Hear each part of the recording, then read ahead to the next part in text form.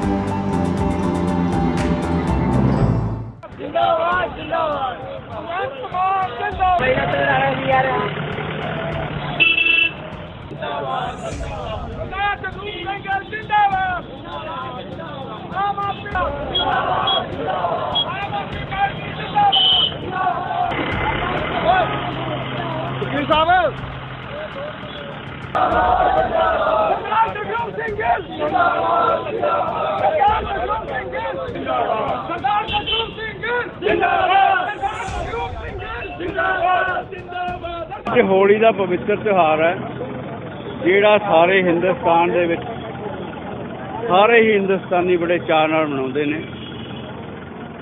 ਅੱਜ ਅਸੀਂ ਆਮ ਆਦਮੀ ਪਾਰਟੀ ਦੇ ਸਾਥੀ, ਮੇਰੇ ਲੀਡਰਸ਼ਿਪ ਔਰ ਸ਼ਹਿਰ ਦੇ ਸਾਰੇ ਦੋਸਤਾਂ ਨੇ ਫੈਸਲਾ ਕੀਤਾ ਕਿ ਬਾਜ਼ਾਰਾਂ ਵਿੱਚ ਹੀ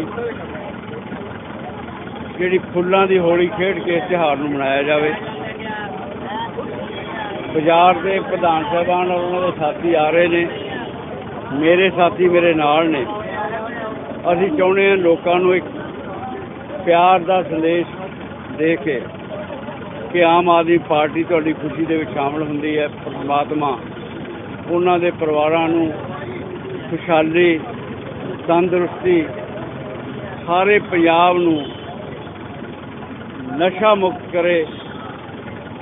ਪੰਜਾਬ ਨੂੰ ਵਧੀਆ ਪ੍ਰਸ਼ਾਸਨ ਦੇਣ ਦੀ ਆਮ ਆਦਮੀ ਪਾਰਟੀ ਨੂੰ ਹਿੰਮਤ ਦੇਵੇ, ਸ਼ੁੱਧ ਔਰ ਬੁੱਧ ਦੇਵੇ।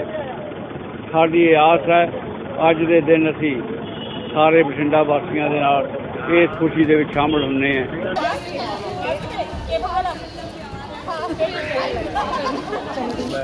डॉक्टर कैश कलर ब्रेक हो जाएगा। है ना ब्लू कलर इधर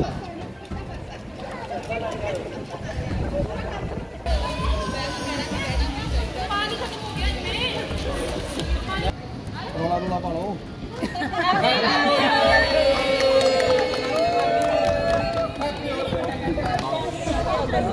बस बस आ रहा।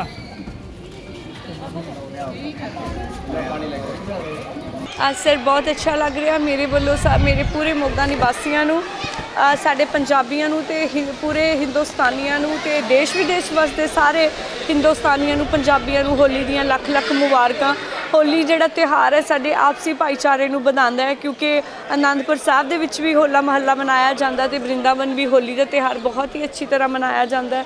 ਸੋ ਇਹ ਉਹ ਤਿਉਹਾਰ ਹੈ ਜੋ ਅ, ਜਿਸ ਦੇ ਜੋ ਜਿਸ ਦੇ ਵਿੱਚ ਆਪਾਂ ਇੱਕ ਦੂਸਰੇ ਨੂੰ ਰੰਗ ਲਗਾਉਂਦੇ ਆ ਫੁੱਲਾਂ ਦੇ ਨਾਲ ਖੇਡਦੇ ਆ ਸੋ ਇਹ ਜਿਹੜਾ ਹੋਲੀ ਦਾ ਤਿਉਹਾਰ ਹੈ ਸਾਨੂੰ ਸਾਰੇ ਆਪਸੀ ਮਤਭੇਦ ਭੁੱਲ ਕੇ ਅਸੀਂ ਇੱਕ ਦੂਜੇ ਨਾਲ ਜਿਸ ਤਰ੍ਹਾਂ ਮਿਲ ਕੇ ਹੋਲੀ ਮਨਾਉਂਦੇ ਹਾਂ ਉਸੇ ਤਰ੍ਹਾਂ ਸਾਨੂੰ ਆਪਣੀ ਰੀਅਲ ਲਾਈਫ ਦੇ ਵਿੱਚ ਵੀ ਆਪਸੀ ਮਤਭੇਦ ਭੁੱਲ ਕੇ ਆਪਸੀ ਜਿਹੜੀਆਂ ਹੈਗੀਆਂ ਤਕਰਾਰਾਂ ਨੂੰ ਭੁੱਲ ਕੇ ਇੱਕ ਦੂਜੇ ਨਾਲ ਮਿਲ ਕੇ ਰਹਿਣਾ ਚਾਹੀਦਾ ਹੈ ਤੇ ਆਪਣੇ ਦੇਸ਼ ਦੇ, ਆਪਣੇ ਸਟੇਟ ਦੇ ਤੇ ਆਪਣੇ ਹਲਕੇ ਦੇ ਵਿਕਾਸ ਦੇ ਲਈ ਇੱਕ ਦੂਜੇ ਨਾਲ ਮਿਲ ਕੇ ਆਪਣੀ ਹਲਕੇ ਨੂੰ ਅੱਗੇ ਵ- ਵਾਧੇ ਵੱਲ ਲੈ ਕੇ ਜਾਣਾ ਚਾਹੁੰਦਾ ਤੇ ਮੈਂ ਆਪਣੇ ਮੋਗਾ ਨਿਵਾਸੀਆਂ ਨੂੰ ਫਿਰ ਤੋਂ ਹੋਲੀ ਦੀਆਂ ਬਹੁਤ-ਬਹੁਤ ਵਧਾਈਆਂ ਦਿੰਦੀ ਹਾਂ ਤੇ ਅਪੀਲ ਕਰਦੀ ਹਾਂ ਕਿ ਹੋਲੀ ਫੁੱਲਾਂ ਦੇ ਨਾਲ ਹੀ ਖੇਡੋ ਅਸੀਂ ਵੀ ਫੁੱਲੀ ਲੈ ਕੇ ਆਈ ਸੀ, ਪਰ ਜਿਹੜਾ ਹੈਗਾ ਲੋਕਾਂ ਦੇ ਵਿੱਚ ਉਤਸ਼ਾਹ ਹੁੰਦਾ ਉਸ ਨੂੰ ਕੰਟਰੋਲ ਕਰਨਾ ਬੜਾ ਮੁਸ਼ਕਿਲ ਹੋ ਜਾਂਦਾ। ਪਲੀਜ਼ ਡੋਂਟ ਵੇਸਟ ਵਾਟਰ ਸਭ ਇੱਕ ਦੂਜੇ ਨਾਲ ਮਿਲ ਕੇ ਫੁੱਲਾਂ ਦੇ ਨਾਲ ਹੋਲੀ ਖੇਡੋ।